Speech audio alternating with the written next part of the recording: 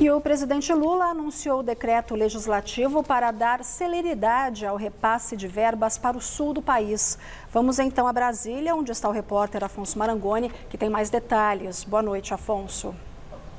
Boa noite, Luciana. Boa noite a todos. Esse anúncio do presidente da República foi no Palácio do Planalto, ao lado do presidente do Senado e do Congresso Nacional, Rodrigo Pacheco, e o presidente aqui da Câmara dos Deputados, Arthur Lira. É um projeto, portanto, de decreto legislativo, precisa ser aprovado pelas duas casas do Congresso e, como você bem colocou, busca dar mais celeridade às medidas que vão ser tomadas em relação ao Rio Grande do Sul e também conferir segurança jurídica. Hoje foi um dia intenso aqui de movimentações e articulações, inclusive o ministro da Secretaria de Comunicação Social, Paulo Pimenta, disse que o governo vai priorizar e vai liberar é, imediatamente, já nos próximos dias, nas próximas horas, o valor equivalente a mais de 600 milhões de reais em emendas parlamentares, todas destinadas à área da saúde. O senador Alessandro Vieira protocolou uma proposta de emenda à Constituição que visa criar uma espécie de orçamento de guerra, como foi usado na pandemia de Covid-19, para fazer frente aos gastos que serão necessários para reconstruir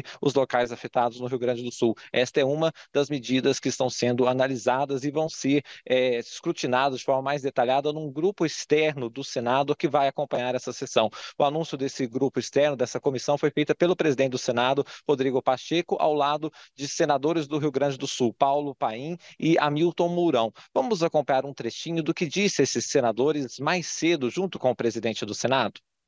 Nunca vi uma situação semelhante a essa, semelhante. Nunca pensamos ou imaginamos que íamos ter uma situação como essa. Por isso nós precisamos do Brasil, precisamos do, do Congresso, precisamos do apoio, da solidariedade de todos. É isso, é um desespero total.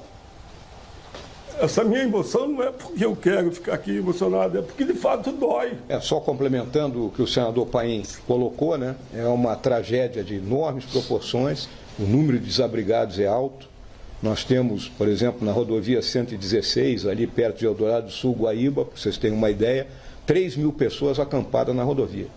Né? Acampada em condição precária.